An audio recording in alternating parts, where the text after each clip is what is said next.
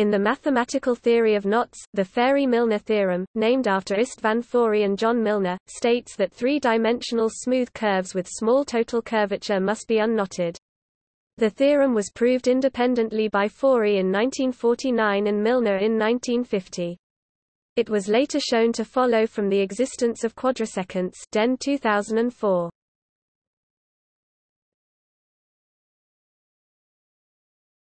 Topic: Statement of the theorem If K is any closed curve in Euclidean space that is sufficiently smooth to define the curvature kappa at each of its points, and if the total absolute curvature is less than or equal to 4 pi, then K is an unknot, i.e.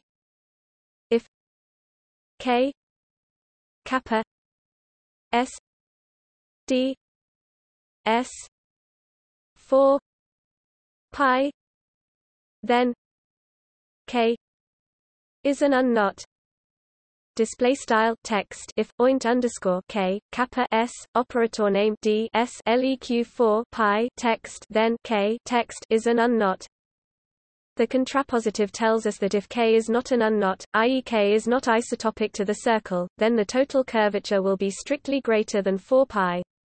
Notice that having the total curvature less than or equal to 4 pi is merely a sufficient condition for K to be an unknot, it is not a necessary condition. In other words, although all knots with total curvature less than or equal to 4 pi are the unknot, there exist unknots with curvature strictly greater than 4 pi.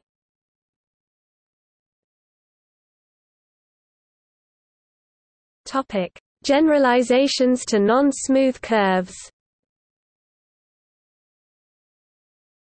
For closed polygonal chains the same result holds with the integral of curvature replaced by the sum of angles between adjacent segments of the chain.